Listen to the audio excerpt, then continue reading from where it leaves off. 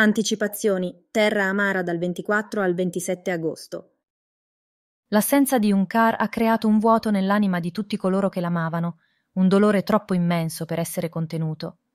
Fecheli, un uomo dal cuore di acciaio, si trova ad affrontare un tormento indicibile, un dolore che penetra fino al midollo e che sa non svanirà mai del tutto. Tuttavia, con una forza di volontà quasi inumana, afferma che dovranno apprendere a convivere con questo strazio. L'uomo, forte dell'esperienza che solo il tempo può donare, cerca di infondere coraggio agli Yaman, li sprona a ritrovare il sorriso, a rialzarsi e riprendere il cammino della vita. Demir risponde con voce incerta, desiderando che sua madre possa riapparire in quell'istante, rivelando che tutto non era che un brutto scherzo, ma tutti sanno che non sarà così. Nel mezzo di tutto ciò compare Sevda, la cui presenza suscita immediatamente un vociare di sussurri e ipotesi. Le donne, raccolte in preghiera, continuano a chiedersi chi possa aver compiuto l'atroce gesto di assassinare Hunkar, mentre Behice, avvolta in un velo nero, finge di pregare per l'anima della signora Yaman. Il suo silenzio, la sua mascherata espressione di dolore, non sfuggono all'attenzione delle donne. Sevda nel frattempo si avvicina prima a Zuleia e poi ad Emir per esprimere le sue condoglianze.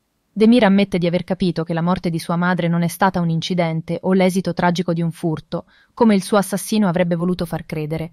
Infatti Beice, dopo averla brutalmente pugnalata, le ha rubato i gioielli, ma ha dimenticato di prenderle il denaro che aveva nella borsa. Demir, con una determinazione glaciale e ferina, giura di smascherare chi ha commesso l'omicidio e di farlo pagare a caro prezzo per il suo crimine. Il giorno successivo, Sevda, Zuleia e Gulten si adoperano per i preparativi del viaggio finale di Hunkar. Il suo funerale si terrà nel pomeriggio. Parallelamente, presso la dimora di Fecheli, Mujgan e Behice si ritrovano per discutere del tragico destino della madre di Demir. Behice affronta la situazione con un'ironia che confina con il disprezzo, mostrando una mancanza di rispetto. Questo comportamento suscita un senso di allarme in Mujgan, che inizia ad alimentare sospetti nei confronti della donna. Mushgan decide quindi di confrontarsi con la zia, imputandole senza mezzi termini la responsabilità della morte di Hunkar. Behice risponde all'accusa gravosa con una vena di teatralità, fingendosi stupita e offesa. Poi, in un colpo di scena degno di una telenovela, fa le valigie, chiama un taxi e se ne va, lasciando Mushgan attonita. Poco dopo si svolge il funerale di Hunkar, con la partecipazione di una moltitudine di persone, Durante la cerimonia, però, si verifica un evento imprevisto e drammatico. Le guardie irrompono e arrestano Sevda, accusandola ufficialmente del delitto della signora Yaman. Questa rivelazione provoca una scossa sismica tra i presenti.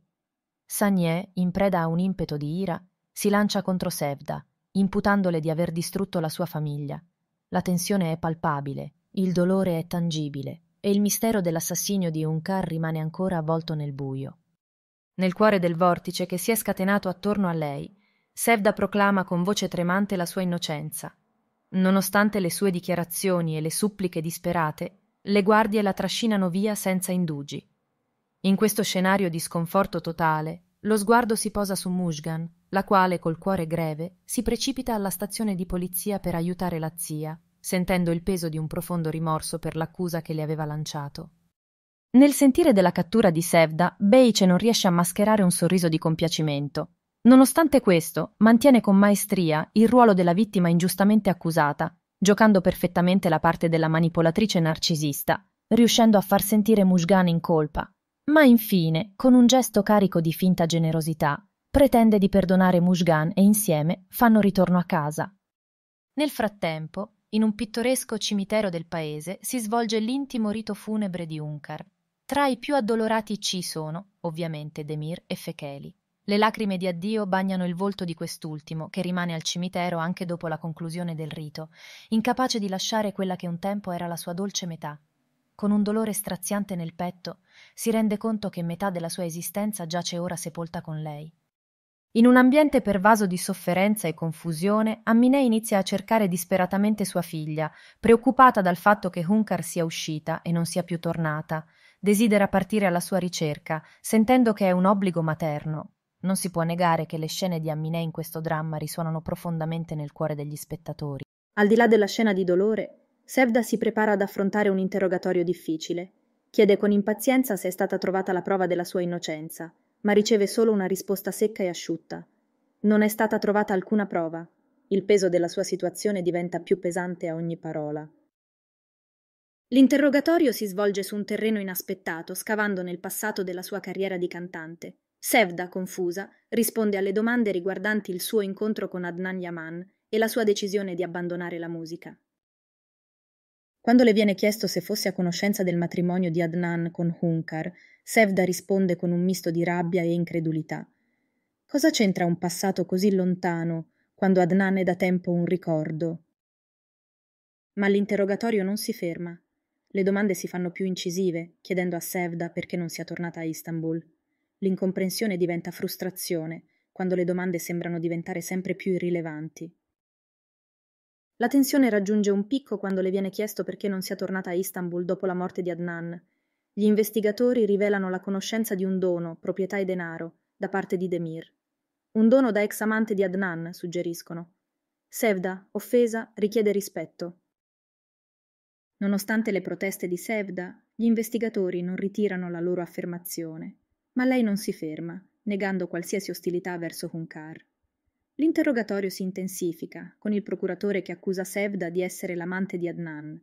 Ma Sevda risponde con fermezza, sostenendo di essere stata la moglie di Adnan, nonostante la mancanza di documenti ufficiali. E se hanno dubbi, suggerisce, possono chiedere a Demir. L'interrogatorio prende una svolta imprevista, quando gli investigatori suggeriscono un nuovo scenario. Sevda che anela a diventare la legittima moglie di Adnan, ma Hunkar rifiuta ostinatamente di concedere il divorzio. In preda alla confusione e alla frustrazione, Sevda si domanda a voce alta cosa c'entri tutto ciò con l'omicidio. La situazione si complica ulteriormente quando il procuratore suggerisce un possibile collegamento tra la morte di Hunkar e l'ostilità percepita da Sevda, ma Sevda non si lascia intimidire e respinge con forza tali insinuazioni, sostenendo di non avere mai avuto alcuna ragione per voler far del male a Hunkar. Eppure il procuratore continua a insistere, suggerendo che Hunkar potrebbe aver tentato di spezzare il legame tra Demir e Sevda, mettendo in pericolo lo stile di vita lussuoso di Sevda che Demir finanzia. Con vigore e fermezza, Sevda respinge queste insinuazioni insistendo sulla loro mancanza di fondamento. Tuttavia l'interrogatorio diventa più intenso quando il procuratore presenta alcuni gioielli che appartenevano a Unkar, indossati il giorno dell'omicidio, ma mancanti al ritrovamento del corpo. Sevda è visibilmente colpita, negando di averli mai visti. Il procuratore rivela, allora, che i gioielli sono stati rinvenuti durante un'ispezione della sua abitazione. Questa rivelazione lascia Sevda senza parole, visibilmente scioccata. Nel frattempo, fuori dall'aula di tribunale, Demir entra in scena, deciso a difendere Sevda. Afferma che le indagini stanno puntando alla persona sbagliata, ma il procuratore non si lascia impressionare e continua il suo interrogatorio, chiedendo a Sevda di spiegare il suo rifiuto del denaro offerto da Demir. Sevda insiste sul fatto che l'offerta l'ha offesa, ma il procuratore non desiste, sostenendo che forse Hunkar stava cercando di interferire con l'aiuto di Demir. Altrove, Mushgan cerca di fare ammenda con sua zia, esprimendo il suo pentimento per averla accusata ingiustamente. Nonostante il suo sincero rammarico, la zia rimane ferita e delusa, rifiutando le sue scuse. Mushgan, nel suo sforzo per riparare il danno, racconta degli eventi del funerale e dell'arresto di Sevda. Con uno strano dubbio negli occhi, Biice afferma con sicurezza sono certa che sia stata lei. L'atmosfera diventa pesante mentre seguiamo Beice nelle ore successive all'omicidio, avvicinandosi sinistramente alla residenza di Sevda. Nell'oscurità vediamo Beice che si toglie silenziosamente le scarpe prima di entrare furtivamente nella villa. Sevda, all'oscuro del pericolo, accarezza un gattino e dà a Beice l'opportunità che stava aspettando. Si dirige al piano superiore, le scale diventano l'anticamera del suo piano sinistro. Nel silenzio della camera da letto, il suo piano malefico inizia a prendere forma. Estrae con cura i gioielli rubati a Hunkar e li piazza in un cassetto, facendo attenzione a non lasciare tracce. Poi, con un ultimo sguardo, esce dalla stanza, lasciando dietro di sé una trappola per Sevda. Sta quasi per uscire, ma il destino ha in serbo un altro piano. Sevda quasi la scopre e Behice si rifugia dietro una porta. Quando il pericolo è passato, fugge rapidamente dalla casa. All'esterno i sandali di Beice rimangono abbandonati, ma un'altra figura emerge all'orizzonte, una donna che lancia un'occhiata furtiva a Beice. La zia di Mushgan è stata scoperta da occhi indiscreti, un colpo di scena che potrebbe cambiare tutto. Nel frattempo assistiamo alla tensione palpabile alla stazione di polizia. L'interrogatorio di Sevda continua. Il procuratore rivela la scoperta dei gioielli lucenti di Unkar nascosti nella sua abitazione. L'atmosfera si infittisce ulteriormente quando Demir, con un volto carico di delusione, fa il suo ingresso. Sevda, scioccata, non può accettare che l'uomo che considera come un figlio possa pensare che lei abbia commesso un crimine così orribile. Disperatamente si rivolge a Demir, giurando la sua innocenza e suggerendo che potrebbe essere vittima di un complotto. Il procuratore, gelido e tagliente, delinea senza mezzi termini le prove contro Sevda. Ecco i fatti, Ecco i gioielli di Unkar ritrovati nella tua dimora. Avete litigato, hai perso la testa e l'hai uccisa. Queste parole rimbombano come un martello, pesanti come il piombo. Sevda, devastata, si trova a dover affrontare una realtà che sembra non lasciare scampo. In un gesto di disperazione si abbandona su una sedia, rivolgendo a Demir uno sguardo carico di angoscia. Si può quasi toccare il dolore di Demir mentre lotta per contenere le lacrime e la rabbia. Fuori dalla stanza, confabula con l'avvocato, ostinandosi nel non voler accettare che Sevda possa aver compiuto un gesto tanto efferato. L'avvocato tuttavia insiste, evidenziando la schiacciante solidità delle prove. Un momento di acceso confronto si accende quando Demir insiste sul fatto che, se realmente colpevole, Sevda avrebbe dovuto eliminare le prove. Ma l'avvocato ribatte, proponendo l'ipotesi che Sevda forse non prevedeva di diventare una sospettata e che avrebbe potuto progettare di vendere i gioielli. Ci troviamo di fronte a una scena straziante. Sevda in catene, mentre passa davanti a Demir con uno sguardo disperato. Demir, col cuore pesante, segue con lo sguardo la donna che suo padre ha amato profondamente. Nel mentre, Beice fa il suo ritorno alla casa di Fecheli, con Mujan al suo fianco. Mantiene l'apparenza della vittima innocente, indignata dalle accuse di Mujgan. Mujgan pentita si scusa per il suo errore di giudizio e cerca il perdono di Beice. Quest'ultima, con un sospiro di sollievo, accoglie Mujgan in un abbraccio conciliatorio. La scena si sposta alla tenuta Yaman. Demir, con un gesto di resa, siede abbattuto nel salotto. Zuleia fa il suo ingresso e si siede accanto a lui, chiedendogli notizie di Sevda. Demir rivela che il giorno seguente sarà chiamato a deporre in tribunale. Zuleia, spaventata e preoccupata, chiede chiarimenti. Demir ammette la scoperta scioccante dei gioielli di Hunkar nella casa di Sevda. Zuleia, sconvolta e incredula, respinge con forza l'idea che Sevda possa essere la vera colpevole. Così Zuleia manifesta i suoi dubbi a Demir, chiedendo se veramente ritenga che Sevda possa essere coinvolta. Ma Demir è sconvolto, confessando a Zuleia di sentirsi come in un labirinto, incerto su cosa pensare. In preda ai sensi di colpa, Demir si ritrova a insistere sul fatto che tutto sia stato causato da lui. Crede di aver fomentato la rivalità tra le due donne, alimentando un terreno fertile per le inimicizie. Ammette di aver sbagliato a portare Sevda a Chukurova e soprattutto al matrimonio di Sabahattin. Ora Demir si sente responsabile della tragica fine della madre, ma Zuleika si rifiuta di lasciare che Demir si attribuisca tutto il peso della colpa. La scena si trasferisce nel salotto della tenuta, dove le donne si sono radunate per commemorare Hunkar. Suleia si unisce a loro, ma notando l'assenza di Aminé, confida a Demir la sua preoccupazione. Segue un momento straziante. Aminé, con un piatto in mano, procede a passo lento verso il cimitero. Giunta alla tomba di Hunkar, inizia un monologo intimo e commovente. Promette alla figlia che sarà sempre con lei e che ora può finalmente trovare pace dopo una vita piena di lacrime. Dice di aver portato il suo piatto preferito e desidera abbracciarla presto per allontanare la sua paura del buio. Demire e Zuleia raggiungono Aminé. Da lontano osservano la scena toccante, poi accompagnano dolcemente la donna verso casa. Rientrati alla tenuta, trovano Fecheli che si aggira vicino alla finestra di Hunkar. Aminé, vedendolo, si avvicina e gli chiede se è venuto per Hunkar. Lo esorta a nascondersi temendo che la presenza di Fecheli possa infastidire Adnan, padre di Hunkar. Rivela che Hunkar è stata promessa in sposa a Adnan, ma sa che il suo cuore appartiene solo a Fecheli. Fecheli, commosso e con le lacrime agli occhi, ringrazia Aminé. Quest'ultima lo prega di non far soffrire Hunkar di rendere la sua vita felice e di vegliare su di lei. Nel frattempo, l'azione si sposta alla dimora di Fecheli. Nel salotto, Behice e Mujgan sono in attesa e poco dopo fanno il loro ingresso Yilmaz e Fikret. Zia e nipote si informano sulla presenza del padrone di casa e Yilmaz le informa che Fecheli è rimasto al cimitero per rendere omaggio a Unkar. Si sviluppa un dialogo tra i quattro. Fikret esprime i suoi dubbi sull'implicazione di Sevda, ma Behice, senza indugio, sposta l'attenzione su Demir. Secondo lei, le precedenti azioni di Demir hanno innescato tensioni e risentimenti tra le due donne, culminati nella richiesta di Hunkar a Sevda di lasciare la città. Quest'ultima, rifiutandosi, avrebbe provocato una lotta dalle conseguenze fatali. Improvvisamente Beice esclama di sentire freddo e chiede a Mushgan di recuperare il suo cappotto dall'atrio. Vediamo Mushgan afferrare il cappotto, ma una lettera cade dalla tasca. Mushgan la raccoglie, intrigata.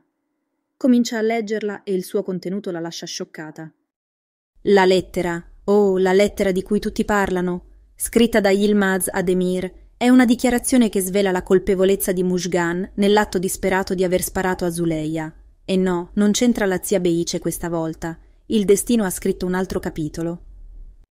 Mushgan, attonita e sconcertata, si precipita in sala, accusando Yilmaz di averla tradita. La sua voce trema mentre chiede al marito perché abbia scritto quella lettera. Yilmaz, con un tono glaciale, le risponde che senza quella lettera lei sarebbe già dietro le sbarre, rivelando che è stato Demir a costringerlo a firmarla. Yilmaz, con la voce vibrante di emozione, ribadisce che non può essere incolpato per averla salvata. La discussione si fa accesa. Mushgan non è disposta a cedere, accusando Yilmaz di non averla interpellata prima di decidere per il suo futuro. La tensione sale quando Yilmaz, stufo delle parole, le chiede dove abbia trovato il documento. Mushgan non risponde, e qui interviene Fikret con una confessione sconvolgente. È stato lui a prendere il documento dalla casa degli Yaman. Il gelo cala nella stanza. Quindi sei stato tu e non lei? chiede Yilmaz, gli occhi fissi su Fikret. La risposta di Fikret porta in un territorio oscuro, dove il nemico di un fratello è il nemico di tutti, la notte si posa mentre Yilmaz e Fikret si incontrano nel giardino di casa Fecheli. Fikret racconta del suo passato a Chukurova, dei due nomi che dominavano, Ali Rakhmet Fecheli e Adnan Yaman. Il padre di Demir è sempre stato crudele, mentre Fecheli è sempre stato buono e altruista. Rivela che suo zio Fecheli è stato in prigione per venti anni a causa di Demir e che anche lui di conseguenza ha un problema con gli Yaman. Ma Yilmaz non è convinto. Cerca di interrompere Fikret, ma lui continua, insistendo che la carta firmata rappresenta una sentenza di morte per Mushgan. Fikret osserva il mondo che lo circonda, la mente annebbiata da dubbi e sospetti. Demir, secondo lui, stava aspettando l'occasione giusta per vendicarsi, e questo l'ha spinto a rubare quel documento, quello stesso che potrebbe essere la chiave di tutto. L'aria è densa di tensione e le conseguenze di quel gesto potrebbero essere inimmaginabili ma la vicenda prende una piega inaspettata. Vedrete Mushgan, un'ombra silenziosa, osservare da lontano la conversazione tra Yilmaz e Fikret. L'atmosfera è carica, le parole pesanti come piombo. Intanto la scena si sposta su Fecheli e Demir che si trovano faccia a faccia. Demir, con gli occhi velati di dolore, rivela che Sevda è stata arrestata per omicidio. Fecheli, con gli occhi accesi di rabbia, interroga Demir sulla veridicità dell'accusa ma Demir è sospeso tra il dubbio e l'incredulità, incapace di accettare questa oscura verità. Le prove parlano, ma il cuore di Demir è diviso. Ed ecco Fecheli, tremante d'indignazione, giurare che se è stata davvero Sevda, non la risparmierà. Demir ribatté, la voce tesa come una corda pronta a spezzarsi, che nemmeno lui porterà più rispetto per lei se fosse colpevole. I giuramenti si susseguono, le vite si intrecciano e i destini sembrano scritti nella pietra. Le anticipazioni si concludono qui, ma l'adrenalina, la passione e la suspense non finiscono. Vuoi scoprire la verità? Allora scrivi qui sotto Sì, voglio sapere e preparati a immergerti in un nuovo video, ricco di emozioni, di colpi di scena e di rivelazioni sorprendenti. Non dimenticare di iscriverti al canale, lasciare un mi piace e condividere l'emozione. Il destino di Sevda, il futuro di Zuleia e Demir, il segreto del testimone misterioso. Tutto questo e molto di più ti aspetta. Rimanete sintonizzati